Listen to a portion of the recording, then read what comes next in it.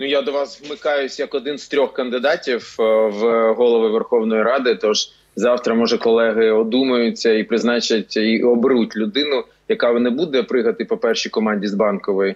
Тоді в Україні залишиться парламентаризм. В інакшому випадку Верховна Рада скочується до рівня департаменту офісу президента, взагалі до такої нотаріальної контори, яка буде просто штампувати, ставити початку на будь-що, що принесуть з банкової. Саме тому сьогодні наша фракція Європейської солідарності, я особисто ми голосували проти відставки Разумкова, не тому, що він нам подобається, це абсолютно не так. А тому, що просто Верховна Рада продемонструвала, що голову Верховної Ради обирають не в стінах Верховної Ради, а в абсолютно іншому місці на вулиці Банковій, і це є неприйнятно. Пане Федоре, до вас тепер буде запитання. От ми в цій студії задалися запитанням, і його поставили нашій аудиторії, яка нас дивиться. е, Що дасть звільнення спікера Разумкова? Чи це буде така узурпація влади, як про це кажуть ваші опоненти? Зокрема, чи навпаки, це дасть вам можливість голосувати все те, що ви хочете проголосувати, але е, в той чи інший спосіб це не виходило так просто з е, цим головою Верховної Ради. Які очікування вашої фракції? Якого голову Верховної Ради хочете тепер бачити ви? Ну, дивіться, по-перше, я хотів би сказати, що жодної узурпації влади немає, і говорити про це чисті політичні спекуляції. Народ України на президентських виборах і народ України на парламентських виборах делегував нам ту політичну владу, яку ми сьогодні представляємо і в Верховній Раді, і в уряді, і президента. Е, говорити про те, що яким чином узурпується влада, це говорити про те, що хтось не визнає волю народу. Народ саме таким чином вирішив, що має бути така сама більшість. Більшість формує уряд, парламент підтримує програми президента е, як свого лідера, з яким фактично йшли на вибори. Тому в даному випадку немає жодних порушень з точки зору логіки організації державної влади. Більше того, я в своїх е, виступах вже неодноразово говорив за великим рахунком. Ми зараз повторюємо ту модель, яка є у Франції. Тому що якщо у Французькій республіці е, більшість в парламенті пропрезидентська, там е, центр прийняття політичних рішень зміщується до президента.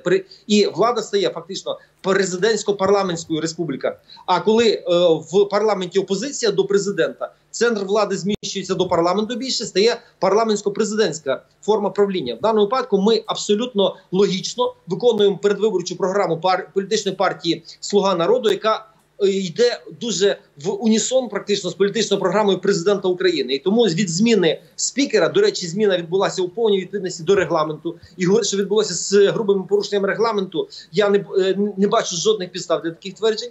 Зміна відповідно голови Верховної Ради України дозволить реалізувати ту програму передвиборчу, за яку голосували люди, і президента, і парламента. Я маю на увазі передвиборчу програму. Тому в подальшому ми будемо реалізувати реалізовувати ті реформи, про які ми заявляли, йдучи на вибори. Федір, я от вам хочу сказати, що вам е, поки що вірять наші глядачі, адже було 55%, що це узурпація е, на 45% до вашого виступу, а зараз все змінилося. І вже 55% наших глядачів вважають, що е, це допоможе владі. Ви отримуєте цей моноконструктив, як і монобільшість. Ну але це початок програми, лише початок голосування. Олексій Гончаренко підносив руку, мав що відреагувати.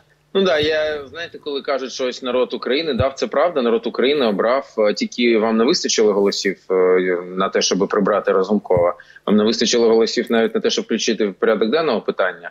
Ви добирали голоси в олігархічних групах, і коли ви однією рукою розповідаєте про боротьбу з олігархами, а іншою рукою ви не здатні вирішити питання, про яке у вас 250 людей в фракції, тільки вони не збиралися всі голосувати за це питання.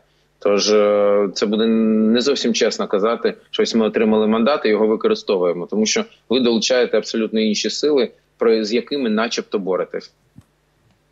Федір, ну Я до вас відреагую. репліка, тому Дуже- відреагуйте. Дуже коротко відреагую, тому що говорити про те, що ми домовилися з якимись олігархічними силами, достатньо подивитися, хто найбільше протидіяв прийняттю законів про олігархів. Це саме європейська солідарність, яку представляє пан Олексій, і опозиційна платформа за життя, яка також сьогодні в унісон з європейською солідарністю не голосувала за зняття е, пана Разумкова. Тому ми розуміємо, що е, мала місце якраз протидія олігархічних е, кіл для зняття пана Разумкова. В зв'язку з чим важко сказати. Я думаю, що розумні люди самі розуміють. Федір, ну але дивно, тому що не голосував вже. що група Олексій, якщо коротко, я можу. Ну але пан Разумков е, не підтримав закон проти олігархів. Чому їм бути проти нього?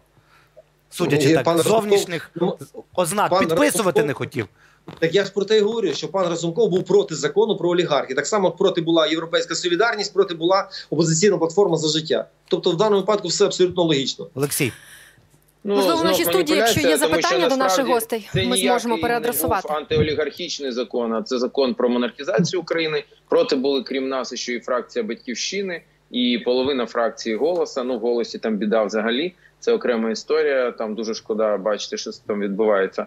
А, але неправда, що було тільки дві фракції. А насправді були а, практично всі е, фракції опозиції були проти цього. Що стосується олігархічних груп, ну я так розумію, коли без група за майбутнє, це вже не Ігор Коломойський, не олігархічна група. Правильно, це ну, тобто яку групу, яку сам Зеленський називав в своєму одному з відосиків Майбах. Значить, а без них, без групи за майбутнє, ви навіть не змогли б включити питання про відсторонення Разумкова в порядок денний, тому що то питання набрало тільки 230 о, голосів, а із яких слуги народу всі разом. До речі, я, начебто, вигнані вами корупціонер Юрченка, гвалтівник Іваніса. Вони всі голосують з вами в унісон, але навіть разом з ними ви набирали тільки 215 голосів, чого недостатньо. Тому ну правда, вона трішки інакша. Віктор Біщук, будь ласка, є запитання. Ви тоді Разумкова. Дякую, доброго ну не за закон про олігархів. У мене запитання до представника Європейської солі- солідарності Олексія Гончаренка. Пане Олексію, добрий вечір. Е, Добрий. Як так сталося, що ваша фракція Європейська Солідарність висунула цілих цілих два кандидата на посаду спікера? Це є ви і це є ваша колега Яна Зінкевич. Це що розкол також і у фракції Європейська Солідарність? Ні, це можливість двічі використати трибуну для того, щоб донести позицію. Мені здається, чудові кандидатури, і е, є з кого обирати. Знаєте, я б не хотів, е, щоб в українському парламенті, як в Верховній Раді Української Радянської Соціалістичної Республіки, була тільки одна людина, з якою обирають. Це направляюча роль партії. Привіт. А я би хотів бачити абсолютно інше. Тепер є альтернатива і в колег, і в депутатів. Є чудова, фантастична Яна Зінкевич. Є моя е, кандидатура. Будь ласка, колегам є з кого обирати. А про які розколи може йти мова, коли трибуну ми використовуємо для одного для того, щоб донести до людей, що насправді відбувається в Верховній Раді і взагалі в державі. Я би хотів звернутися до пана Веніславського. За вас голосували справді в 2019 році як за нову політичну силу і за президента, і за депутатів Верховної Ради. Ви набрали 259 мандатів з 450. Попробуйте зараз підійти на вибори. Подивіться, чи ви отримаєте такий самий результат. Крім того, всього абсолютно годжуся, що вам не вистачило навіть сил 259 депутатів слуг народу. Ту інформацію, яку я маю в середовищі фракцій, особисто хто голосував проти, хто голосу, хто би не підтримав Зеленського у питанні зняття Розумкова, це ставав би особистим ворогом Зеленського. З 259 тільки 215 слуг народу проголосували за. Я не підтримую пана Розумкова. Я не вірю в його політичне майбутнє. Але я говорю про те, що на даний момент склад парламенту, ви як юрист так само це розумієте, не відображає думку суспільства. Підіть на вибори, президентські, парламентські, і подивіться, які ви отримаєте результати.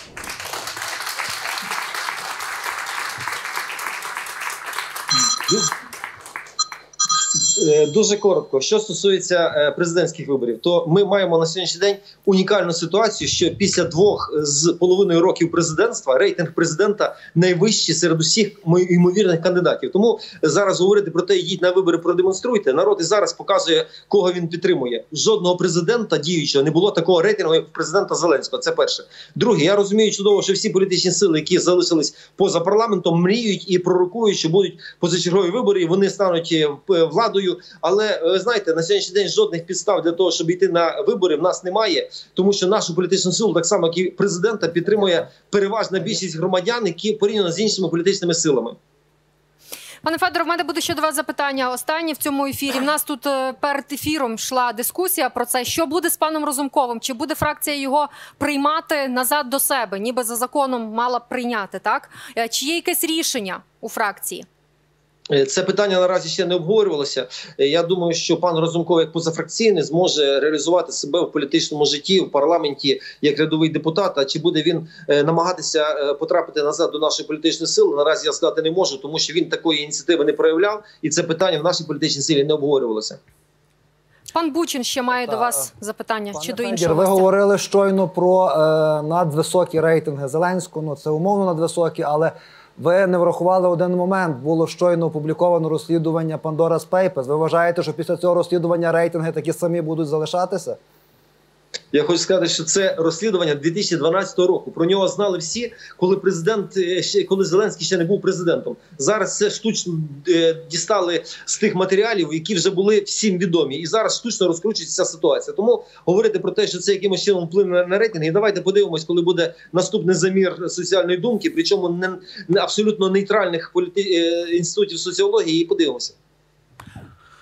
Можемо довго дискутувати про А спікера. можна- Та Олексій, ми можна зараз два дамо вам слова? дамо вам слово. Абсолютно. Я просто хочу ще перед тим, як ви його отримаєте, показати один. Знаєте, є речі дискусійні, це як зміна спікера, а є речі, ті, на які українці можуть дивитися вічно. Ну так, я жартую. Це те, як ви вітали одного. Е- Політичного ну в лапках лідера. Давайте послухаємо, як Олексій Гончаренко сьогодні на трибуні е, вітав Путін. Я хочу, знаєте, в нас сьогодні в світі є іменинник. Звати його Володимир Путін. І я хочу, давайте перше разом скажемо і нагадаємо цьому імениннику Володимиру Путіну на весь світ е, українську народну пісню. До речі, з Харкова. Давайте йому її нагадаємо і скажемо: Путін! Ла-ла-ла-ла-ла-ла-ла-ла! Отак і будемо працювати.